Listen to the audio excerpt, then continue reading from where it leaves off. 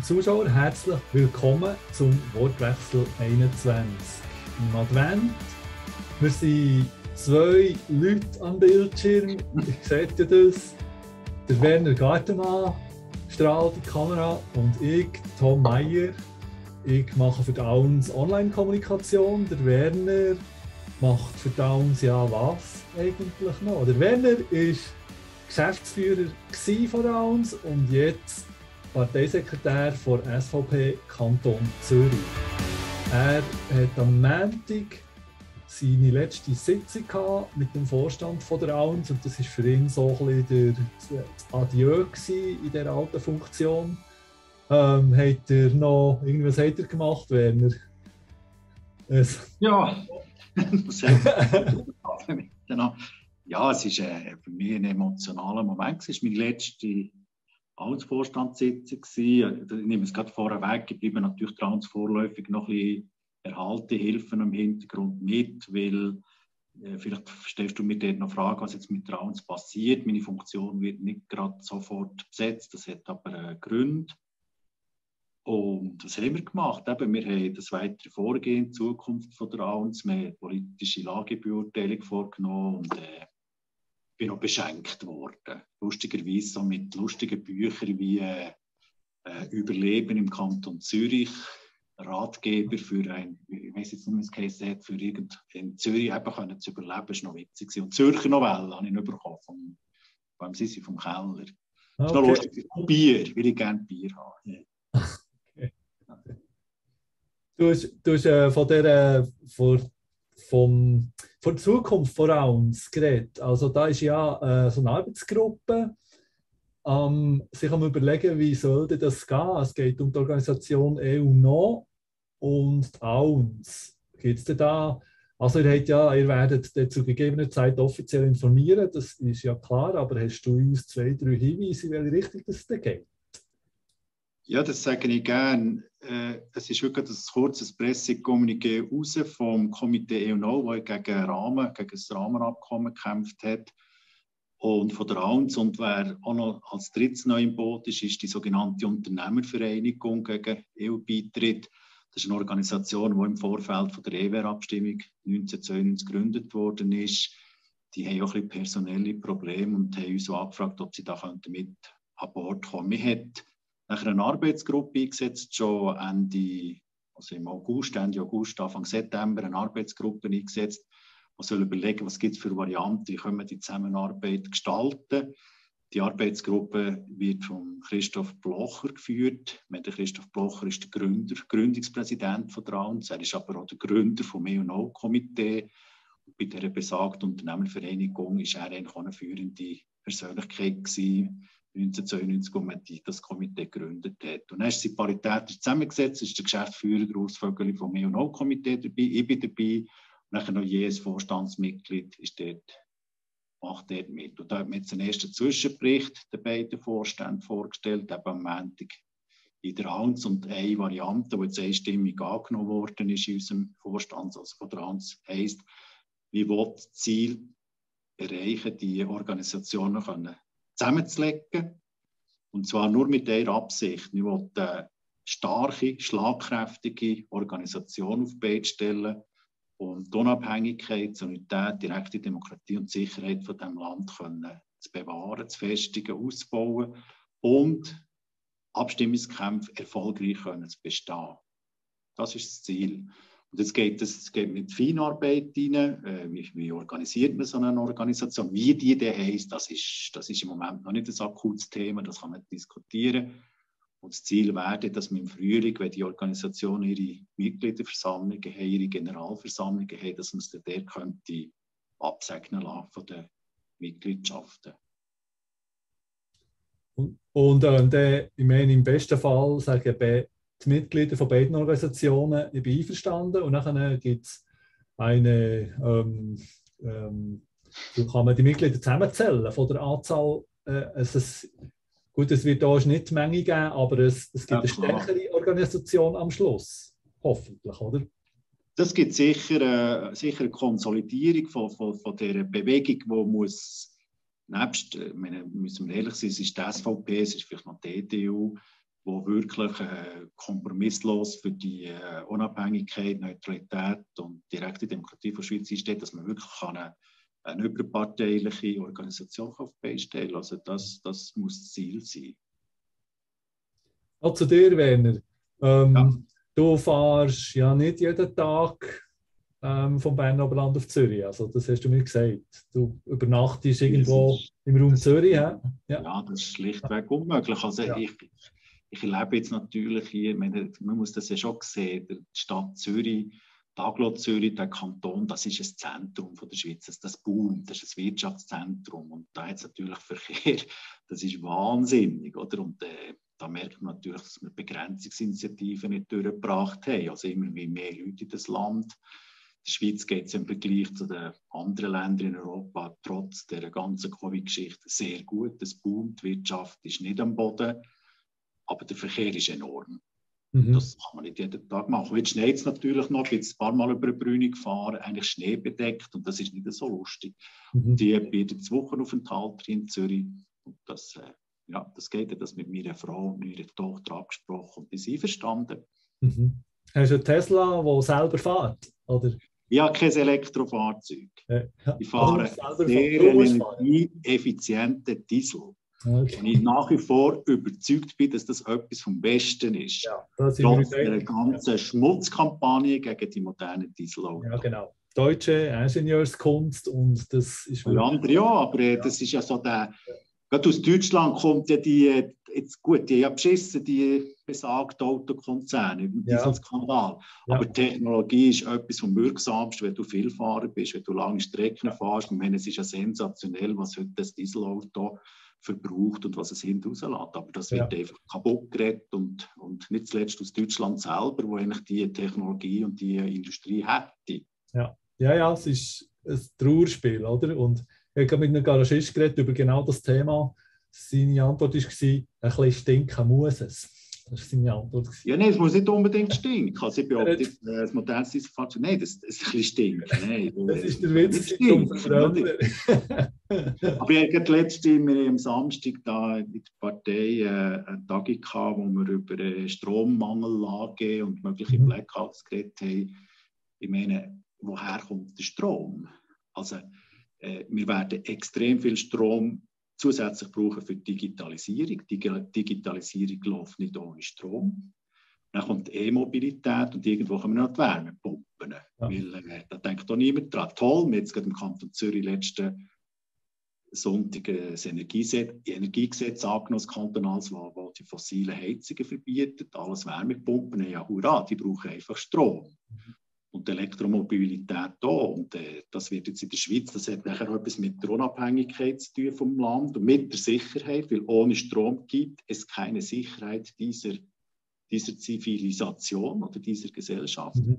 Da müssen wir schon über die Bücher gehen, was die Schweiz jetzt macht. Also einfach die, da die Jammertanten und die Jammeronkel, die sagen, ja, wegen dem Rahmenabkommen, das wir jetzt nicht haben, können wir kein Energieabkommen machen mit der EU, jetzt geht es den Strom aus, ihr seid schuld, der uns ist schuld und der Blocher ist schuld und alles.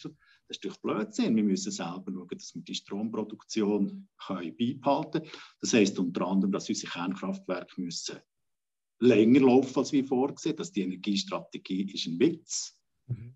Weil die, die, es braucht Strom. Also man kann das, ja. soll jeder mal ins Bett liegen, das Nachttischlämpchen ablöschen und überlegen, wie wäre es am Morgen aufzustehen, wenn ich keinen Strom mehr habe. Also das mhm. Nachttischlämpchen geht schon mal nicht. Mhm. Licht geht nicht in der Wohnung. Also schon mal Blindflug. Und nachher die Kaffeemaschine geht nicht. Dann geht die Kanalisation, irgendwie spült es noch einmal, aber irgendwie pumpt die Kanalisation nicht mehr. Wasserversorgung funktioniert vielleicht. Das ist unglaublich. Und da leben wir einfach in Tag ein und denken, ja, ja, ein bisschen EU und die liefern uns dann schon den Strom, die haben ja genug Strom, oder? Jawohl. Also das hat sehr viel mit Unabhängigkeit zu tun, mit der sicheren hey, Zukunft. Hey, hey, ja.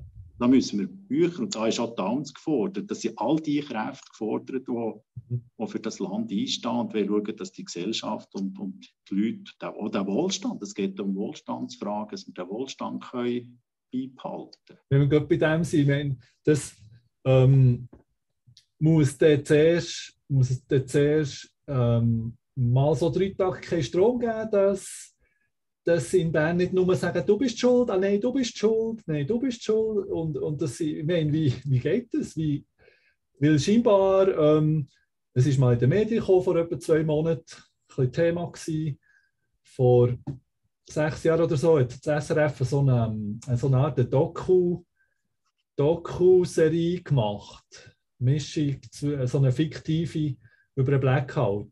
Ähm, wer, ich habe die geschaut und es ist nicht schlecht gemacht, ein bisschen langfertig, aber nicht schlecht. Man, kommt, man, man sieht wirklich alte, also Senioren im Altersheim, die frieren, weil sie keine Heizung mehr haben und so.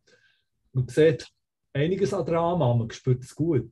Äh, wenn, wenn ihr im Google sucht, einfach SRF Doku Blackout googeln, dann ist es etwa fünfmal eine halbe Stunde ungefähr. So kann man frei anschauen.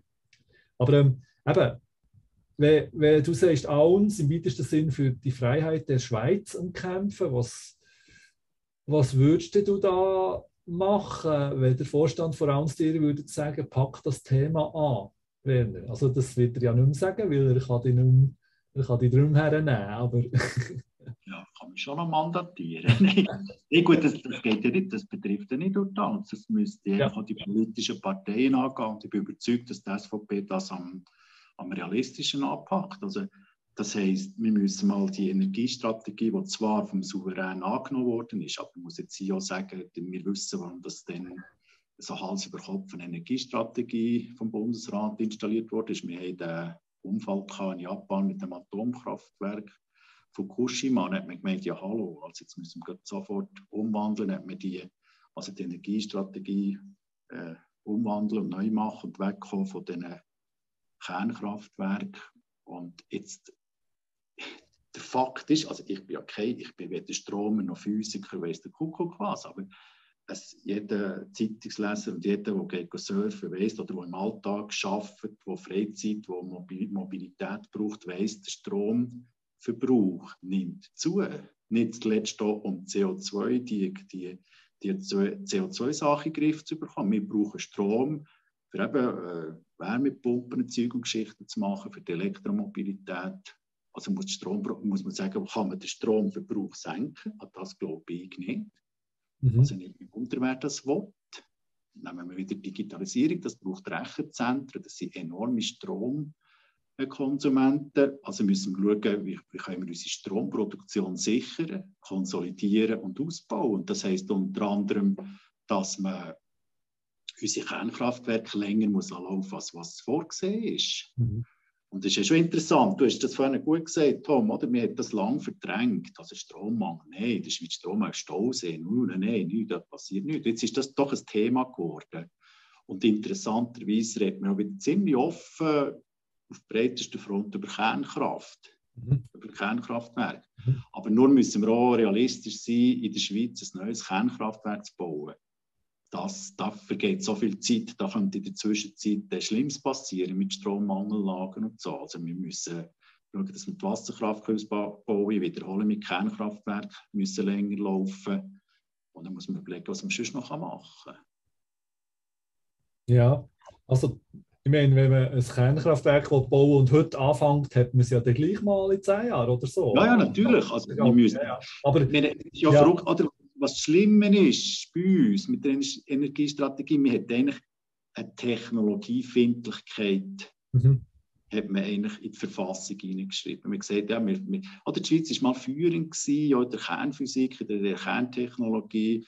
Und äh, da müssen wir wieder zurückkommen und offen sein. Und wir, wir wissen ja, in, in Großbritannien, China, die Amerikaner, auch die Franzosen, es gibt ja ganz neue Kernkraftwerktechnologien. Das ist nicht mehr Mühlenberg. Mühlenberg war ein Kübel, ich weiß nicht welche Generation, aber eine der ersten Generationen äh, Reaktor, Reaktorentechnik. Das ist vorbei. Es gibt heute moderne Kraftwerke. Und wir haben so eine technologiefindliche Politik auf die Beine gestellt. Und die Medien fördern das noch. Der Kernkraftwerk gleich das vom, vom, vom Teufel. Von dem müssen wir wegkommen. Du hast recht, mittelfristig 10, 15, 20 Jahre raus muss man jetzt anfangen planen, jetzt muss es anfangen. Absolut einverstanden. Also ich würde sofort unterschreiben, weil wenn das Volk dort äh, die Energiegeschichte ähm, hat können, also nach Fukushima, oder da, die, die Energiestrategie können gut heißen, können Sie jetzt einfach das wieder korrigieren, oder? Das könnte ja, das muss man überlegen, wie wir das machen Wir ja. haben ja in der Ansehen auch schon diskutiert, das auch unter dem Thema Autarkie, ja. jetzt gerade äh, im, mit Blick auf die ganze Pandemie-Geschichte. Meine, die Schweiz wird nie komplett äh, autark sein, das ist ja allen klar, sie ist sie nie gesehen, wird sie nie sein, aber wir haben, wir haben zu viel weggegeben, wir haben zu viel, wie man so schön sagt, outsourced, da kommen wir bei der Medikamentenproduktion, über, über, über, über Kernenergie, über die Stromproduktion, über Technologie, über die Nahrungsmittelkette diskutieren. Und da müssen wir in meinen Augen über Bücher und müssen auch bereit sein, Geld in die Finger zu nehmen. Mhm.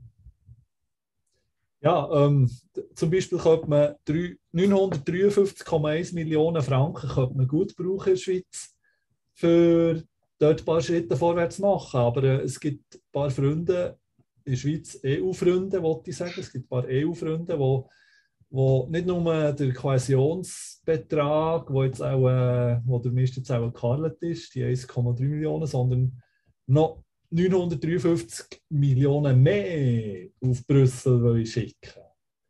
Und die die Außenpolitische Kommission die das eine gute Idee gefunden und die Finanzkommission sagt, nein, äh, nicht gute Idee.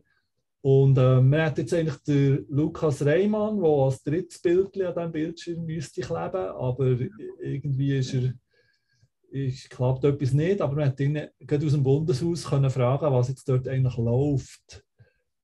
Ähm, die NZZ, die Neue Zürcher Zeitung, hat so ein bisschen geschrieben, eine Verzweiflungstat der EU-Freunde. Also so irgendwie, wie, wie so ein bisschen, sie haben noch irgendeine letzte Idee gebraucht, um sich noch ein bisschen aufzubauen. Ähm, die, die das möchten, die, die 950 Millionen möchten auf Brüssel schicken, die sagen, das ist nachher schon mit der Bedingung, dass, ähm, dass die Hochschulprogramme wieder eingeschaltet werden. Also dass wir wieder auf dem bisherigen Level von der Hochschulprogramm drinnen sind in der EU. Oder? Und nicht, nicht nur so ein Randmitglied. Ähm, was würdest du sagen? 950 Millionen mehr an die EU, ja oder nein? Lass mich raten, was deine Antwort ist. Ja. Oder was eigentlich schwerwiegender ist, ist ja das Verhalten von diesen Politikern und vor allem von der Russenpolitischen Russen Kommission vom Nationalrat. Also, der Bundesrat hat erklärt, das Rahmenabkommen das geht nicht für die Schweiz. Hat das begründet. Wir brechen die Verhandlungen ab. Und die EU ist verschnupft. Die ist jetzt im Moment immer sehr schnell verschnupft, nicht nur gegen die Schweiz. Und äh, nicht das halt ein bisschen, wie es halt so ist. Das ist also wenn man die Schweizer Geschichte anschaut, hat es immer ein bisschen, äh, so ein bisschen komische Situationen gegeben, wo jemand verrückt war über die Schweiz. Und jetzt ist der Herr Bundesrat Gassis als Außenminister ist jetzt mal schon auf Brüssel schauen, wie es so tönt. Ob das gescheit ist, sei dahingestellt. Äh, in den Medien ist es so ein bisschen übergekommen, wie er abserviert worden wäre und müsste bis zum WEF, also sprich bis im Januar, in einem Monat, eine sogenannte Roadmap präsentieren. Äh, ob es effektiv so ist, wissen wir nicht. Aber dass die Außenpolitische Kommission, die sind ja auf Brüssel Wahlfahrt. Also da das ist ja eine grünliberale Präsidentin, äh, Frau wie heißt sie, Angelina Moser. Angelina Moser, ja. Das ist jetzt nicht gerade mein, mein Geheimtipp, die Frau, aber dann lassen wir das. Und äh, kommt man zurück und sagt, ja, mehr super Idee. Da ist der Herr Nussbaum dabei, das ist der Präsident von der neuen europäischen Bewegung, NEPS, heisst sie, glaube ich. Ja, wir die Kohäsionsmilliarden verdoppeln meine, ich frage mich manchmal schon, was das Anforderungsprofil für eine Politiker in der Politik ist. Ich meine, das ist ja dumm, excuse für den Ausdruck. Ich meine, wie tut ja die EU hier blöd herstellen? Das sieht so aus, schau, liebe EU, gebe dir statt der 5 lieber eine 10er dafür führst du dich brav auf und bist brav und machst, was sie sagen, bist jetzt ruhig und gibst uns das. Also das ist, das ist wenn man ja weiss, was, was, was eigentlich die Urforderungen sind von der EU, eben das mit, mit der Rechtsübernahme und mit der Streitbeilegung und mit der Unionsbürgerrichtlinie und mit den Subventionen, dann muss man nicht meinen, die EU lässt sich jetzt alle abspissen. Also wie, wie, wie, naiv kann man sein? Und ich bin, ja, es fast nicht geglaubt, aber es ist, äh, hat mich gerade wieder ein bisschen positiv gestellt mit Bundesbern, dass jetzt doch die Finanzkommission Nein gesagt hat und das Parlament, der Nationalrat, auch Nein gesagt hat und damit ist es weg, weil der Ständerat ist gar nicht darauf eingetreten. Also das ist mal zum Glück weg. Mhm. Oder, und das sieht auch so aus, ein bisschen nach Erpressung. Also ich fordere von dir 1,4 Milliarden. Und wenn jetzt noch, noch mehr Watch von dir haben, zahlen wir halt das Doppelte. Aber das lenkt ja auch noch nicht. Dann wollen wir dann alle Jahre das Dreifache.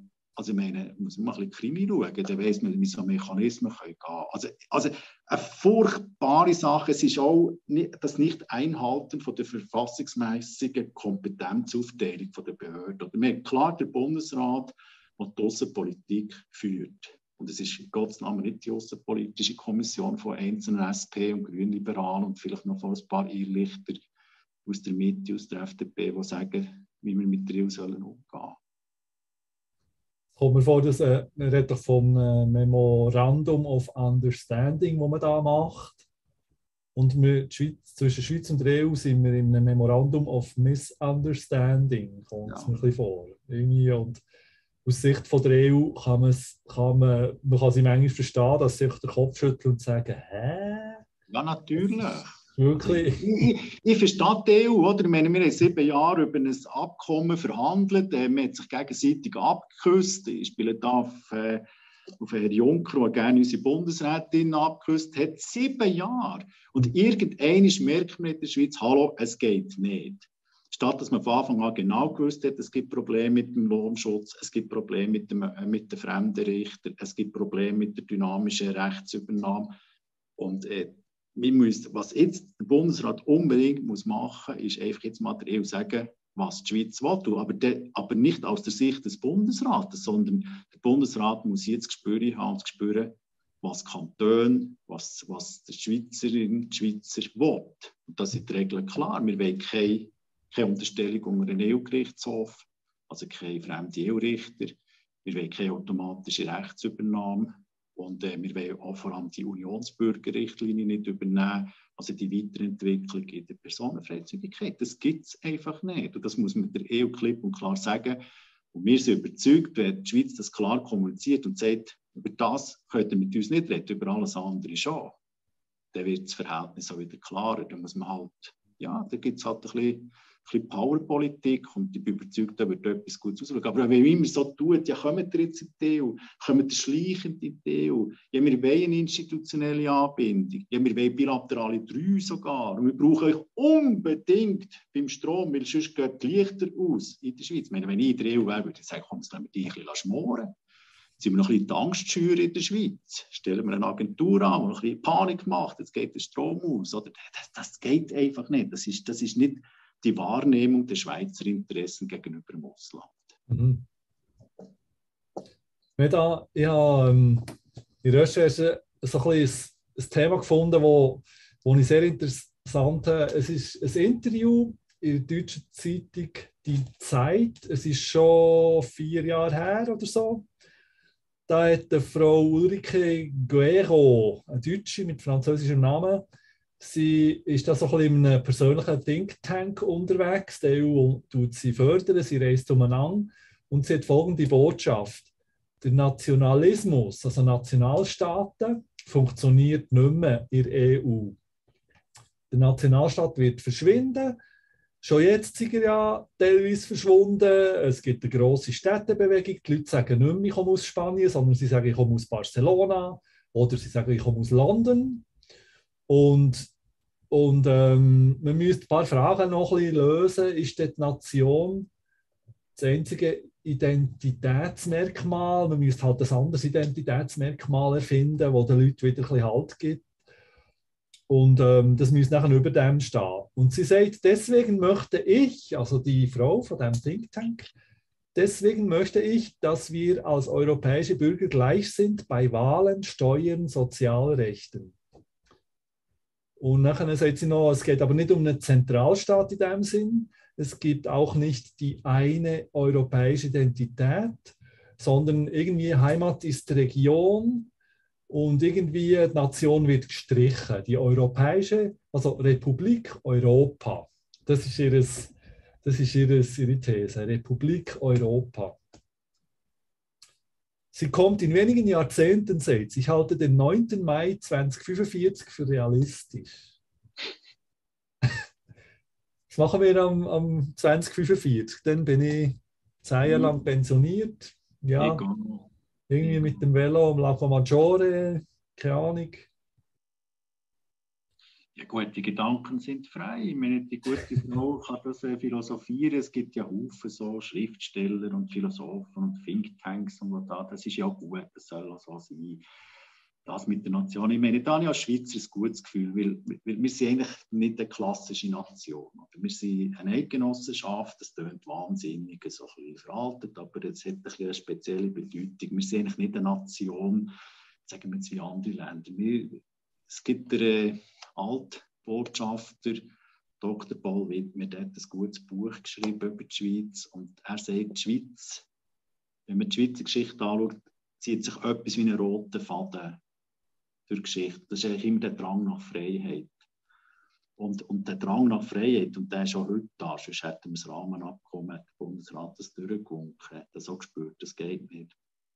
Der, die Freiheit ist eigentlich der gemeinsame Nenner in diesem Land. Das ist der Wille das, das Gebilde zu machen, Eigenossenschaft, da kann man von einer Willensnation reden. Oder aber es, ja, es gibt interessante Details. Wir reden ja nicht von einer, von einer Nationalhymne. Das ist falsch. Die Schweiz hat keine Nationalhymne. Wir haben, wir haben einen Schweizer Psalm. Und das, darum sage ich, aber wir können gar keine Nationalisten sein. Wir, wir sind auch heterogen zusammengesetzt mit Tessin, wir haben mit Westschweiz, mit Rätoromanen. Selbst Deutschschweiz ist ein heterogener ein heterogener Club. Oder? Aber was uns zusammen hat, sind doch schon die Werte wie eben Unabhängigkeit, äh, das freiheitliche Organisieren von Gesellschaft, das von unten gegen oben delegieren. Und obwohl im Moment viel gegen das läuft, äh, bin überzeugt, dass das der Kern ist von diesem Land. Und wenn die, meine, wir sind nicht wie Frankreich, das ein starkes Zentrum hat in Paris. Meine, klar tönt das gut, wenn du kannst sagen, kommst, kommst aus Paris. Oder wenn ich sage, ich komme aus Mathe, bei Interlaken kennt das niemand. Interlaken vielleicht schon noch, aber Mathe kennt niemand. Oder mein Büro liegt jetzt in Dübendorf. Wer kennt Dübendorf weltweit? Zürich schon, oder? Das aber ich, ich, bin Schweizer und, und ich sage nicht, ich bin von Zürich. Ich sage, ich bin ein Schweizer. Da bin ich überzeugt, äh, 2045 wird es die Schweiz noch geben. Und Frankreich, äh, Franzose oder ein Deutscher oder ein Italiener wäre einverstanden, dass er sagt, okay, Italien gibt es nicht mehr, ich wohne jetzt in der Europäischen Republik. Ich weiß es nicht. Das wäre also ja die, die neue deutsche Regierung, die jetzt Ja, muss noch. Ähm, ganz, hat ja ganz ehrgeizige, also die neue deutsche Regierung oder die Ampelregierung, die will ja wirklich aus dieser EU jetzt das machen, was da die gute Frau beschreibt. Oder? Und äh, sie sagt, die Frau da, ich kenne die nicht, den Artikel auch nicht gelesen, oder wenn man will, äh, die Europäerinnen und Europäer zum Beispiel sozialpolitisch, sozialrechtlich gleichstellen. Äh, also da freue ich mich auf die Konzepte. Oder? Ich meine, die Schweiz hat einen sehr hohen Standard im, äh, in der Sozialversicherung. Vergleichen das mit anderen Ländern, wo man x, x-fach weniger an Sozialleistungen hat. Also das zusammenzuführen, das zu harmonisieren, das braucht einen Superstaat. Und ob jetzt das alle Länder mitmachen, man schaut heute schon den Zustand der EU an. Oder? Wir haben Haufen Länder, die irgendwie vor einen EU-Gerichtshof gezogen werden, weil sie sagen, bei uns, wir werden jetzt nicht mehr so das EU-Recht in den Vordergrund stellen. Polen, Ungarn, äh, Großbritannien ist mal raus, wie sie gesagt haben, wir wollen unsere Gesetzgebung wieder selber in die Finger nehmen. Wir wollen ja Grenzen selber machen. Wir müssen nur mal, mal schauen, was an den polnischen Grenzen abgeht mit den Flüchtlingen, die da von Weißrussland angedrückt werden. Oder ich meine, Frau Merkel hat vielleicht schon mal gesagt, ja, willkommen, das schaffen wir, alle reinlassen. Die Polen sagen, nein, gibt es nicht, das ist illegal, was da passiert, das ist Machtpolitik von Weißrussland her, der Kuckuck was. Also da bin ich dir noch nicht überzeugt, ob die Konzepte umgesetzt werden können äh, da, das tönt schon gut, eine Europäische Republik. Also eben, überlegt euch nur mal, das Sozialsystem zu harmonisieren. Wir haben nicht einmal die, Schulden, die Schuldenpolitik im Griff in der EU. Also wir sehen ja, wir haben Länder, die haben, dass sie Schulden machen und wir haben Länder im Norden, die sagen, hallo, hallo, hallo, vorsichtig mit den Schulden. Ich bin gespannt. Das hat ja mit, ich meine, jedes Land hat seine Geschichte, seine Identität, denkt einigermaßen ähnlich. Hat, man erzählt Witze, die man nur in diesem Land erzählt, man Sprichwörter, die man nur in diesem Land hat und so. Und das bringt man nicht zusammen. Und ich finde vor allem, das ist etwas extrem Schönes, wenn man in wenn, wenn ich in Italien, ich, ich bin in der Lage, Italienisch zu können, wenn ich dort so langsam aber sicher auch ein bisschen die Witze verstehe und wie sie, wie sie, wie sie einander, ähm, wie sie einander fertig machen auf die lustige Art und so, das ist etwas Faszinierendes. Und ja, aber ich meine, die Frau ist, ähm, von der hat man sonst seither nicht mehr gelesen, sie hat aber immerhin eben das Interview bekommen in, in der deutschen Zeitung «Die Zeit». Also es ist, ja... Ja, los, komm, wir, wir kommen eigentlich zum letzten Thema. Wahrscheinlich wird der Lukas Reimann wird sich heute nicht mehr einklicken. Ja, nicht mehr gehört von ihm. Ja, ja, wer ein bisschen gelesen hat in den Medien, jetzt gelesen, ähm, eine interne Sprachregelungsgruppe von EU hat alle 30.000 Funktionäre von EU gesagt, wir müssen da unsere Wörter sorgfältiger wählen, wir können nur nicht mehr einfach jetzt in der Weihnachtszeit von Weihnachten reden. Wir müssen sagen Festtage. Und vor allem können wir nicht mehr von Maria und, ich komme nicht ganz raus, Maria und Johannes schreiben sie. Also man, darf nicht mehr, man soll nicht mehr von Maria und Johannes reden. Ich vermute, sie haben Maria und Josef gemeint, aber wenn man halt die Weihnachtsgeschichte nicht mehr kennt, ähm, nehmen wir mal an, sie haben Maria und Josef gemeint. Item. Sie haben statt Maria und Josef heisst jetzt einfach nur noch Malika und Julio. Weil dann fühlt sich niemand angegriffen. Und äh, großer Aufschrei im Vatikan bis in die oberste Etage rein, in den Medien, vor allem Südeuropa, Österreich, in der Schweiz auch. Ähm, und jetzt haben sie es zurückgepfiffen. Das 30-seitige Dokument ist jetzt einmal so etwas aufzusetzen, zu schreiben, zu diskutieren und 26 Mal zu übersetzen, kostet 200.000 Stutz. So. Item. Sie nehmen sie uns zurück und uns überarbeiten. Was gibt es denn da zu überarbeiten? Malika und Julio ist doch schön, Malika und ja, Julio, sie haben Krippli. Man da gar nicht viel Wort über das verlieren. Oder es zeigt einfach, was die Technokraten in diesen diesen Hochglanzpalästen, was die Hirnen, oder? und wodurch das der Weg geht. Ich meine, das ist ja die ganze Gender, Gender-Diskussion, die ja vor allem in Deutschland und auch von der EU gefördert wird. Oder? Und ich meine, die Religion, die die Leute haben, das ist jedermanns äh, Sache. Die Religionsfreiheit, gegen die bin ich gar nicht. Aber äh, wir müssen jetzt mal zur Kenntnis nehmen, in Europa sind wir das Abendland, wenn wir so sagen, das ist auf christlichen Kulturen aufgebaut, wo wir auch Einfluss haben vom Islam und auch positive Einfluss haben. Aber wir sind ein christlich geprägter Kontinent und darüber mag ich nicht diskutieren. Wenn einer nicht einverstanden ist, ja, er muss nicht Weihnachten feiern, er kann ja meinetwegen Max und Moritz feiern, das ist mir wurscht. Oder? Aber dass, dass die EU als oberste Behörde von, der, von dem Staatenbund nichts anderes zu tun hat, als einen Leitfaden zu erwirtschaften. Was haben die für Probleme? Also ich bin gespannt, wie die EU jetzt die Gasproblematik in den Griff bekommt. Wenn es einen sehr strengen Winter gibt, werden wahrscheinlich ein paar EU-Bürger frieren, oder? weil wir Probleme haben mit der Gasversorgung. Wir haben wahrscheinlich machtpolitische Vorgänge mit der Gasversorgung. Wir haben schlecht gefüllte Gaslagen in Europa. Das sind Probleme. Und wir, wir, wir haben Sorgen, die, die, die Gesellschaft könnte auseinanderfliegen und wir können wir können äh, Persönlichkeit, Persönlichkeit von jemandem verletzen, wie man von, von Maria Josef redet.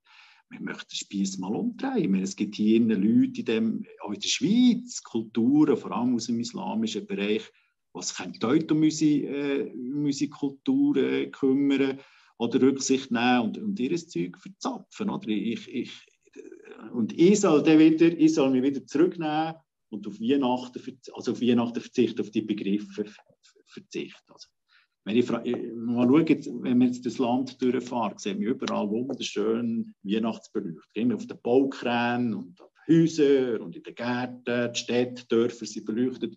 Mal schauen, wie es lang geht, wegen dem Ökoterror oder wegen dem Strommangel, dass wir das auch nicht mehr dürfen. Also, wir müssen einfach merken, dass uns viel, dass man im Begriff ist, uns viel wegzunehmen, was uns wichtig ist, sei es in der Kultur, sei es im Alltagsleben und, und, und wir einfach gezwungen werden, in ein Korsett hineingerutscht zu werden, wo uns irgendwie Technokraten vorgeben. Und dagegen müssen wir uns wehren, auch als Land gegenüber der EU.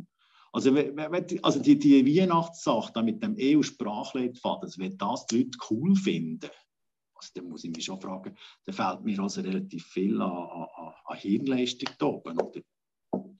Ich weiß auch nicht, ob es von den EU-Funktionären einfach ein Versuchsballon war. Ich kann mir fast nicht vorstellen, dass sie das allen Ernstes, dass sie angenommen haben, das schreiben wir jetzt und nachher ziehen wir das durch. Ich habe mir das Gefühl, ähm, einfach probieren und alle drei Jahre wieder ein bisschen probieren und irgendwann mal ist, ist der Widerstand weichgespült. Ja. Der Willi Schwarz von Felden-Wellhausen im schönen Thurgau hat, hat auch zu dem sagt er, ähm, wir sind ja schließlich ein Land auf dem christlichen Glauben basierend ja. und, und der, die muslimische Kultur extrem, extrem intensiv zu integrieren in uns ist ein kapitaler Fehler da diese die, die, wichtigsten Regeln missachtet. Er sagt die Regel von Gleichberechtigung, von der Geschlechter, Meinungsfreiheit, auch Religionsfreiheit.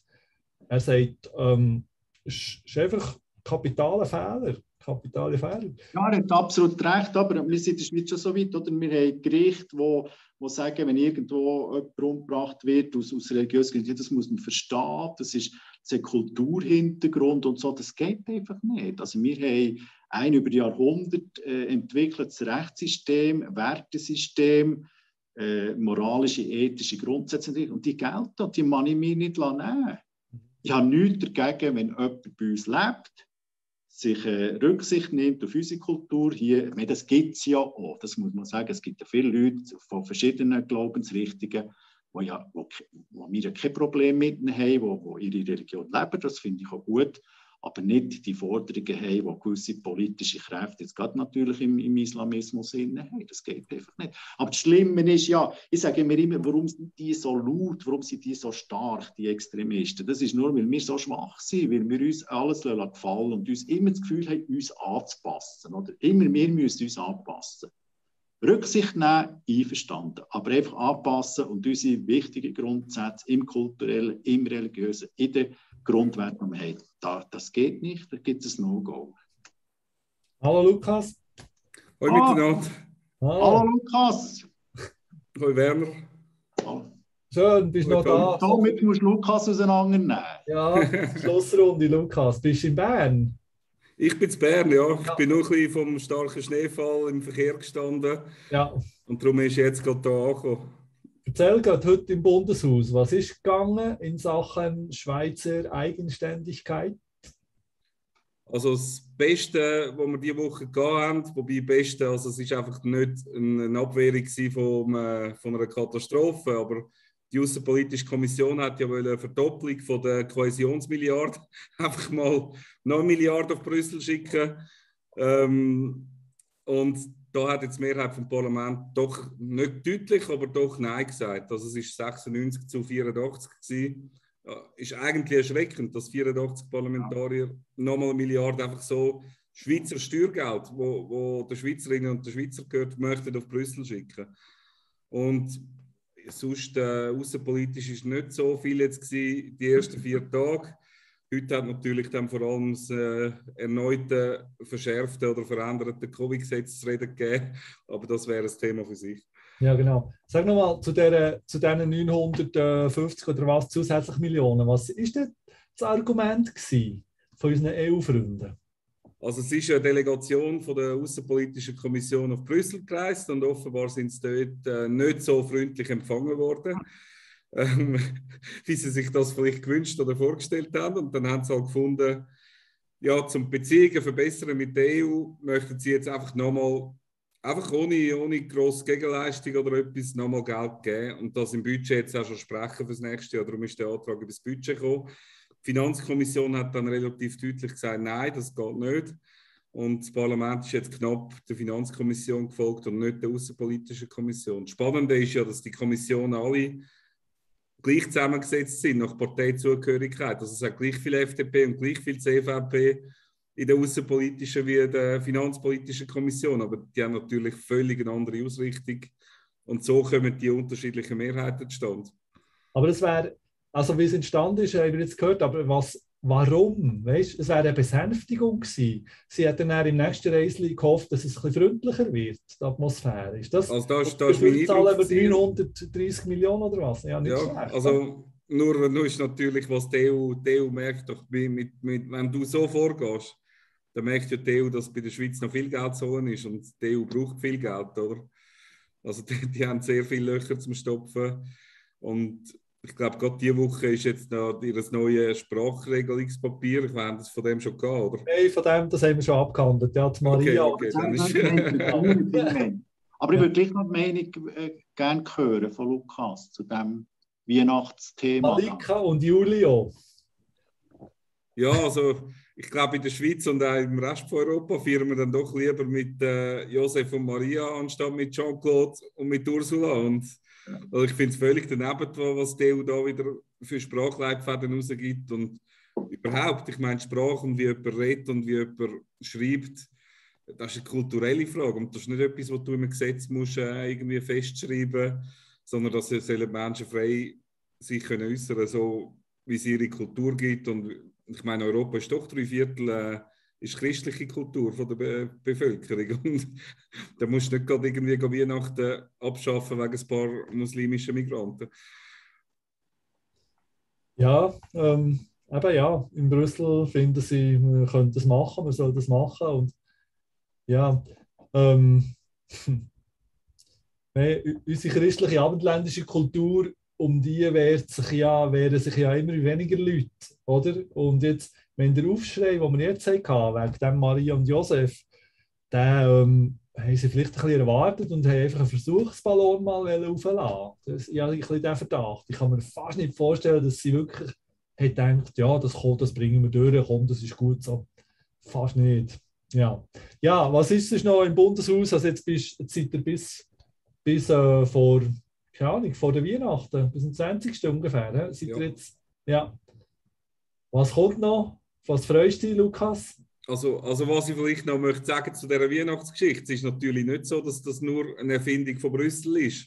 Also wir haben in der Schweiz schon zahlreiche Schulen äh, gehabt und wirklich auch Schulen, wo man es nicht würde denken, wie Flawil oder wie Wil die einfach gesagt haben, wir streichen die Schulweihnachtsfeiern, wir machen keine Weihnachtsfeste, wir tun keine irgendwie Sterne aufhängen oder so, weil wir nicht wollen, die nicht christlichen Schülerinnen und Schüler verärgern. Also man hat es natürlich ein neutral ausgedrückt, aber faktisch ist, ist es schon um die Eltern gegangen von nicht gut integrierten muslimischen Kind, die sich an dem gestört haben, dass ihre Kinder jetzt da müssen, äh, mitsingen bei, bei einem quasi christlichen Fest.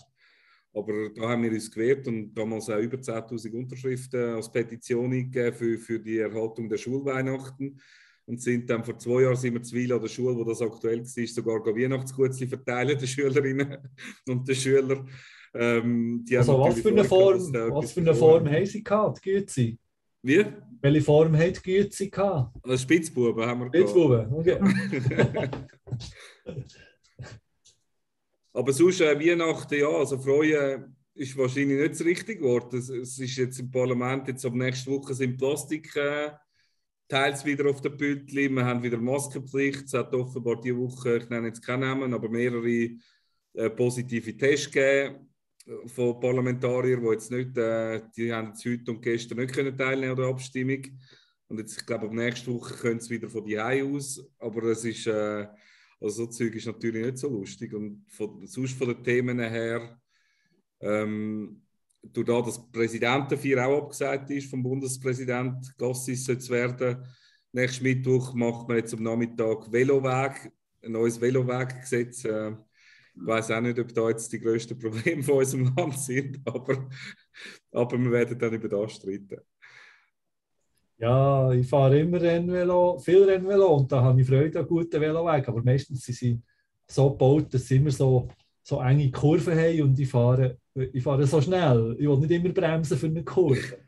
Und dann nehme ich halt gleich manchmal schon einfach wieder die Hauptstraße. also ich nehme das mit äh, fürs neue Velogesetz. genau. ja, liebe Leute. Nein, ähm, Lukas, eben, noch ein bisschen von Werner gehört, ähm, wie sich Downs so ein bisschen für die Zukunft ähm, für eventuell neu sortiert mit EU noch und so. Und ja, der Werner sitzt jetzt in Dübendorf, im Büro. Und da sind wir gespannt, äh, wie, wie das weitergeht. Wir haben noch einen Wortwechsel dieses Jahr. Das ist in zwei Wochen, Datum 16. Dezember 1730. Voraussichtlich 1730. Wir werden wieder informieren, welche Gäste das wir dann haben. Und bis dann wünsche ich euch, liebe Zuschauerinnen, liebe Zuschauer, eine schöne Adventszeit, dass es noch ein bisschen schneit, aber nicht zu viel nach dem Autofahren. Und dass wir für mich, ich muss es für mich sagen, ich kann es nur für mich sagen, die christliche Tradition von Weihnachten, dass wir die geniessen können. Ich genieße es. Mir ist etwas schön. Habt noch gut, schönen Abend. Auch von mir schöne Festtage und, und gute ja. Ja. Ja.